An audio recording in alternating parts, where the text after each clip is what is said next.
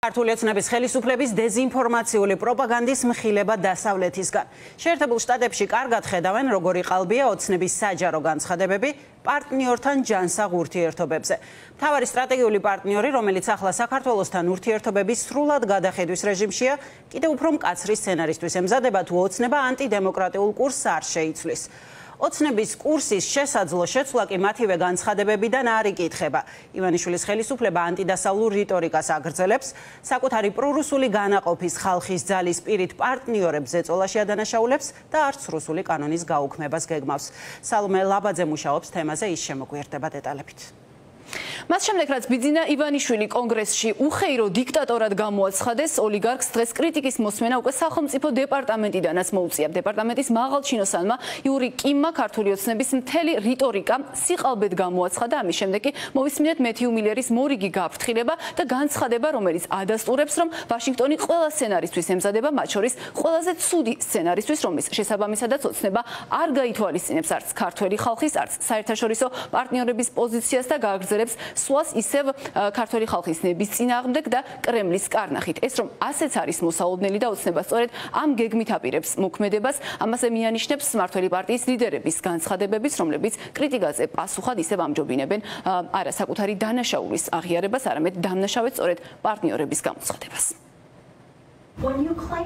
როცა ამბობ, რომ არსებობს გლობალური ომის პარტია, რომელსაც საქართველოს ომში ჩათრევა სურს, ეს ფეიქ ნიუსია. როდესაც შტატების მაღალჩინოსნები გაკრიტიკებენ, შენ კი ამტკიცებ, რომ რეალური ურთიერთობა შტატებთან უმაღლეს ნიშნულზეა, ესეც ფეიქ ნიუსია. ჩვენთან ორივე ვერ გექნება.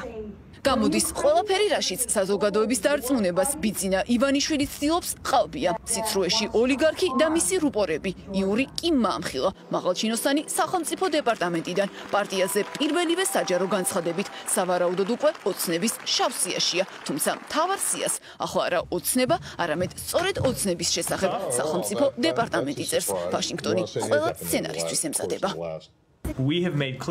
ჩვენ ყოველთვის ვიმედოვნებთ, რომ ნებისმიერი ქვეყანა, რომელიც იწყებს დემოკრატიის ან ევროატლანტიკური თვალსაზრისით უკანდახებას, რომ ისინი შეცვლიან კურსს, განსაკუთრებით მაშინ, როდესაც ამ ქვეყნის ხალხი ამბობს, რომ მათ სურთ კურსის ცვლილება, მაგრამ ამავე დროს ჩვენ გავაგრძელებთ ჩვენი პოლიტიკის განვითარებას, იმ შემთხვევებისათვისაც, როდესაც ქვეყნები ამ კურსს არ ცვლიან.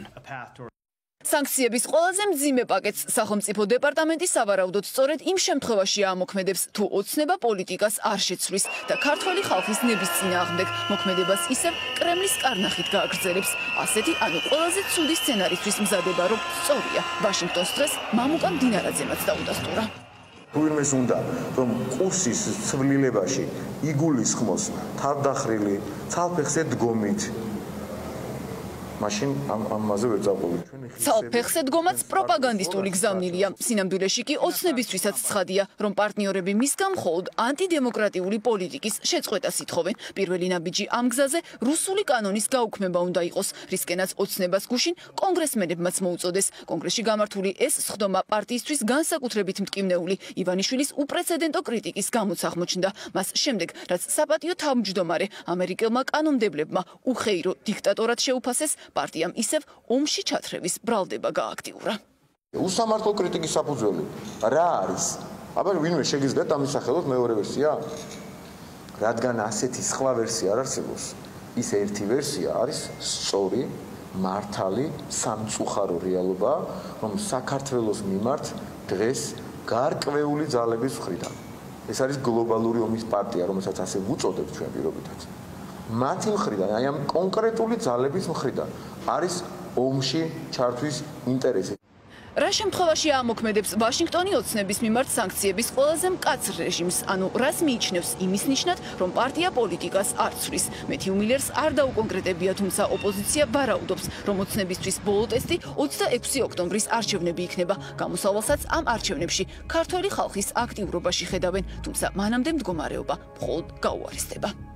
მაშინ როდესაც შეჩერებულია საქართველოს ევროპის კავშირთან გაწევრიანება ევროპის კავშირში გაწევრიანების პროცესი ამერიკის შეერთებული შტატები არიან პროცესში საქართველოსთან ურთიერთობების სრული, ფართომასშტაბიანი და ღრმა გადახედვის. ეს ნიშნავს, რომ იქნება კიდევ უფრო მეტი სანქცია საქართველოს ხელისუფლების მიმართ. ეს ნიშნავს, რომ საქართველოს მოექცევა უფრო მეტ საერთაშორისო იზოლაციაში. ძალიან მნიშვნელოვანია, რომ საქართველოს დაუბრუნდეს იმ გზას, რა გზიდან გადახვევასაც ჩვენი ამერიკელი პარტნიორები ღიად მიუთითებენ ქართულ ოცნებას, ის რომ საქართველოს და ამერიკის შეერთებული შტატები არიან პარტნიორები და მათ შორის გამოხატულია მნიშვნელოვანი მხარდაჭერა ამერიკის შეერთებული შტატების მხრიდან, ეს ხატყობს იმას, რომ ამერიკა არაპირებს საქართველოს და ქართული ხალხის მარტო დატოვებას. ამიტომ 26 ოქტომბერს ქართულ-ამერიკული ურთიერთობები აუცილებლად დაუბრუნდება იმ დღის წესრიგს, რაც ბოლო წლების განმავლობაში იყო. 26 ოქტომბრის არჩევნებს ამერიკა განსაკუთრებული რესურსის მობილიზებით დააკვირდება. პროცესში როგორც ფორმულას დაუდასტურა პირადად ჩაერთვება სენატორი ჯინ შაჰინიც. მანამდე კი სწორედ შაჰინის ორგანიზებით საქართველოს შესახებ სენატში იმსჯერებენ. ამიტომ კიდევ ერთ მძიმე თარიღად ქართულ ცნებას უკვე შეუძლია 30 ივლისი მოინიშნოს და ყურადღება საგარეო კომიტეტის ცნობისკენ მიმართოს.